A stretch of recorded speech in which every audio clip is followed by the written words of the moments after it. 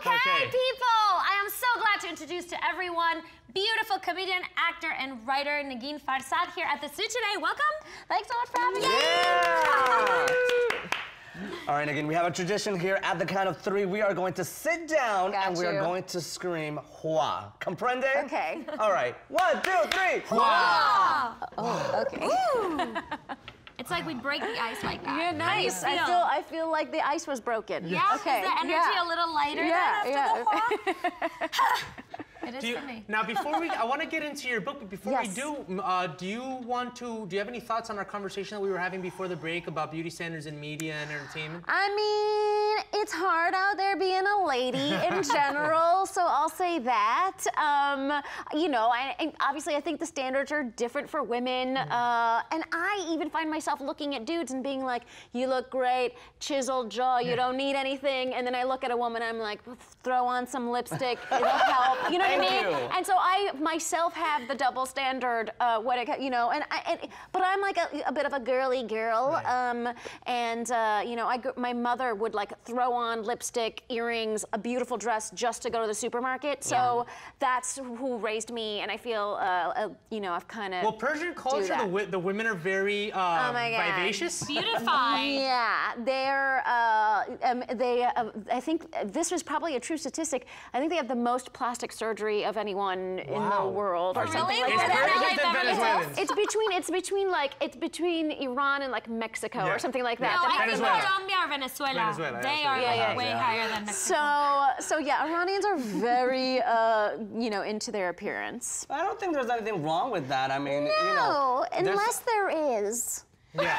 I'm like, there's nothing I wrong with trying girl. to like fix yourself up because it's just like you look like you don't care about yourself. You know, it's like, come on, you're gonna go out. Why in the world would you want to look like a train wreck when you're going out to the world to see you? True. But you're right. I mean, I grew up with my grandma who was always, every day she would wake up at seven or eight in the morning, throw her makeup on, and I would ask her, Abby, why, why would you like put makeup on if nobody's gonna see you, only us? And she was like, I don't do it for anyone, I do it for myself. Yeah, it's like Right. self pride. So that to me, yeah, and that to me, you know, I learned to grow up with that Yeah. idea. And when I, you know, make myself pretty, under my standard of beauty, whatever, yeah. it's for myself, really, not yeah. for. Yeah. anyone. I, I mean, I enjoy clothes. You know what I mean? Like I, I find it fun to like throw together a w- you know a, a look, um, and so I think that's part of it. You know, if you get- if you get some kind of joy out of it every morning, why not? As long as you're not pressured to do it by outside forces, outside people, and outside standards, I think it's up to you and your And personal. like then your face is your full, canvas. Full disclosure, I am a little pressured because you know I'm in the business, so I it's, I don't feel like I can walk around looking like garbage. You know what I mean? Thank you. I don't feel like Thank that. you. You know that I can do. You know, so there is. It's accommodated. I can't pretend like I'm not affected Right. by that kind of pressure. I'm definitely affected. Men, by I don't like clothing, so don't feel pressured to wear them. Thank you. I want to talk about the book, How to Make White People Laugh. Yes. Uh, I want to know about it, and also I want to segue. Where did you ever see the documentary that I forgot who made it? I think was it Al Franken. Um, it's a comedy in the in the Muslim world, or do you know the documentary? I'm talking about?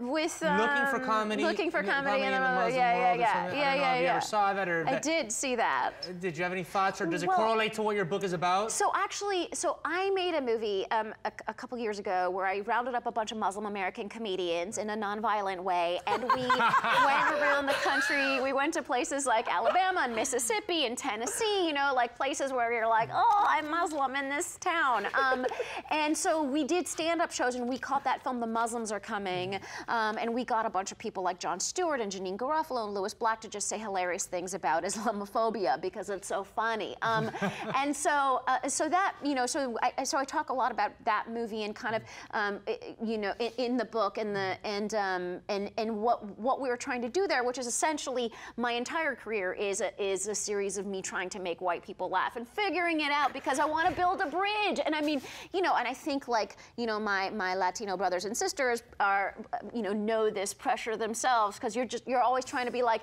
listen, white people, you control you know the government, space, the economy, wars, and if you're laughing, maybe you'll start fewer wars. Like that's bit, bit mm. my my basic philosophy. You should send it. your book to Donald Trump. He has to read He it. really needs to read For it real, more than anybody.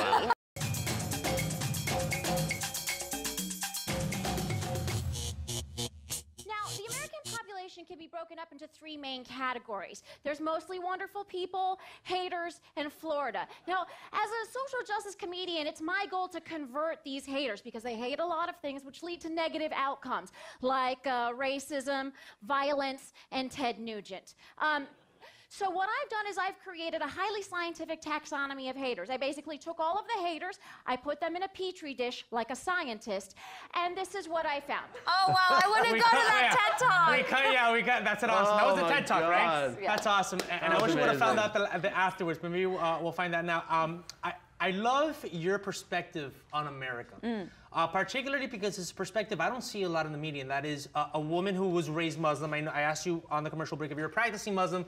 You're kind of like me. You were raised by a Yeah. religion, but I'm sure you have your own your own way of thinking of those things.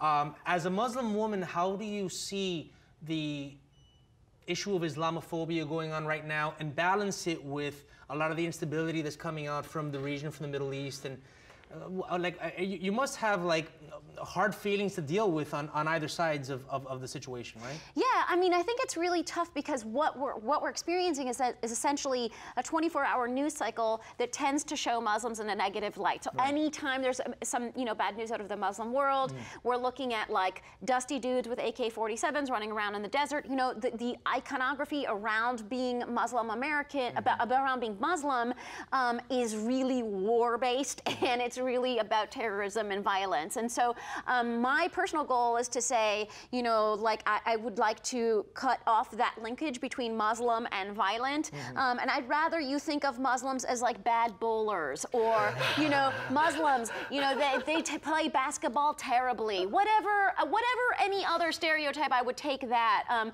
so please spread that rumor. Really Okay. bad at bowling, really terrible at basketball. Muslims. Um, so I think that's really what I'm trying to do is like create new link linkages, even if the linkage linkages are ridiculous. Um, anything's better than violence. Humor saves the day, people. Yeah, and does, Islam's it really also such a peaceful religion at its core. You know, Islam is peaceful, so it's nice Yes. to get back, get that back into the you know rhetoric. Exactly, like, and it's hey, and it's hard promoting- when it's like all we're seeing on TV is this negative stuff. Even even on prestige cable, right? Like you could be watching, you know, HBO or Showtime or whatever, and they have these amazing shows, and and everyone's obsessed with them, and then it'll show a Muslim terrorist, you know. And so we uh, we need to work on that. Right. So what about your encounter with Chelsea Handler? How was that?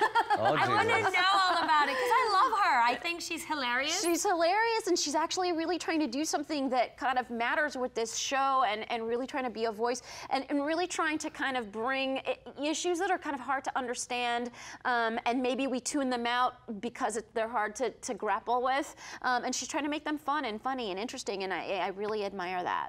like the one she did about black people. Like Yeah, the- That was hilarious too. It's all about the stereotypes. But what was the were you on her show? Yes. Okay. Yeah. And what was the episode? It, um, I I don't remember what they called it, but it You was can an- it on yeah, you can find it on Netflix. It was like a dinner with Chelsea episode. We talked Oh. about we talked about religion um, and and faith and stuff like that. Do you look up to her when it comes to com- comedy? Um, it's funny because I. I I reminded her er- early on that I have I had applied for a job at her show as a writer and, uh, and and I got very close, but they rejected me. So um, I uh, even to be rejected, um, get close to you know close enough to actually get a personal rejection felt. Uh, and then you can tell her on her face, "You rejected me, Chelsea," because that means you know you're already in touch with her, which Yeah, is well, amazing.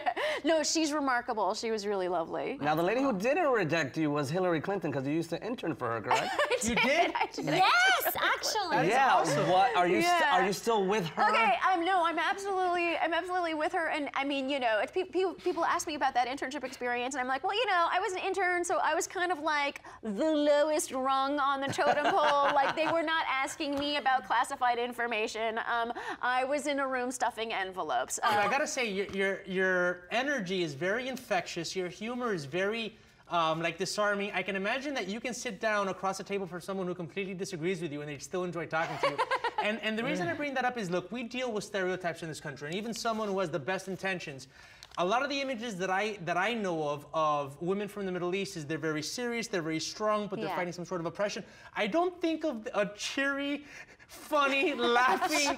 What, like, do you, are you breaking down stereotypes just being you? Like, Well, I mean, I think that's what's funny, right? Is that there's plenty of people like me who are Right. Muslim, who are fun and ridiculous, and you know wear red glasses. Like that's a completely average Muslim woman, and we have built up this idea that Muslim women aren't like that, and it's crazy. And that's But what you wanna cut you for saying that. Yeah. yeah, As a- exactly. how do you feel about being a Muslim woman in a city or an Iranian woman here in LA where there's such a huge community? Yeah, it's interesting because I actually live in New York City, um, and in New York City, you're sort of like in a sea of just constant diversity. Um, I think what's interesting here is like you can go to the streets of Westwood and hear. Far- I mean, I'm Iranian, right? So I can I go to the streets of Westwood and hear Farsi, and it's very like, whoa, what is happening? Uh, um, Culture. yeah, like my people. Uh, mi, mi gente, where have you been? Um, but like, uh, it, yeah. So I so I find that interesting because I'm not normally around this many Iranians, but uh, well, Los listen, are you ever? Angeles- Are, no, we gotta go. We gotta. We gotta go. But are you? Have you ever been around this many fun-loving Latinos? I have. Well, I grew back. up in Palm Springs. Oh, there you go. No wonder. She knows us. Well, we want you back on the show very soon. Thank you for coming. We want to pick up your book Nikki. on Amazon. They can find the book, right? Amazon, How to Make White People Laugh, all of the online things and bookstores. Awesome. Trump, read the book!